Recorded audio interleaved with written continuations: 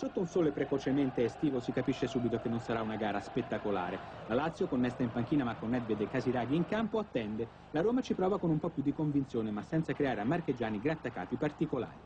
A pungere davvero, sia pur con una sola fiammata, sono invece i biancocelesti. Dal destro di Fusera, alla fine il migliore in assoluto, una bordata delle sue, ma la mano di Cervone c'è. Sensi osserva un po' preoccupato, Lidom la solita sfinge. Zoff stempera la tensione con fumate di zemaniana memoria. Qualche altro tentativo giallo-rosso poi la primavera scossa alla gara. Tern lancia Balbo, Marchegiani gli si fa incontro, un rimpallo, la rincorsa disperata di Fish, la scivolata, secondo arbitro e guardaline, tardiva. Mentre i romanisti si scatenano in un lungo, caldissimo abbraccio, i laziali rincorrono furenti il signor Bongi, ma invano. La palla è entrata, era dentro, quando l'ha tolto era dentro. Sì.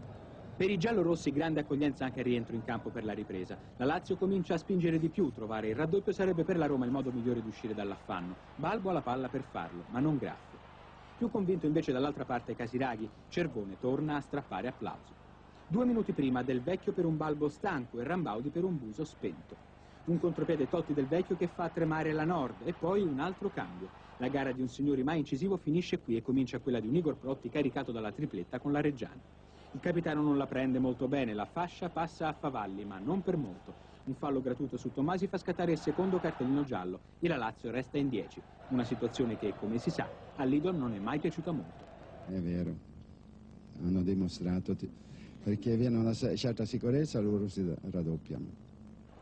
Sarà uno dei suoi famosi paradossi, ma la storia dà ragione al barone. Uscito anche Totti, il migliore della Roma, i giallorossi pungono sempre meno.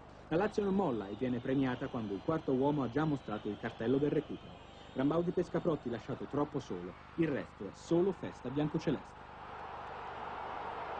Sono entrato un quarto d'ora dalla fine, aver pareggiato al 92esimo e sarà un gioiello che mi porterò fino a quando giocherò e soprattutto quando smetterò. Lidl mastica amaro, Zoff tira un sospiro di sollievo ma non esulta più di tanto pensando ai punti UEFA. Beh, come è andata la partita certamente sono soddisfatto, però non è che abbiamo fatto passi avanti. Si rimane molto, si rimane molto male. Insomma, come già detto, un altro pareggio, tutti contenti, o forse nessuno.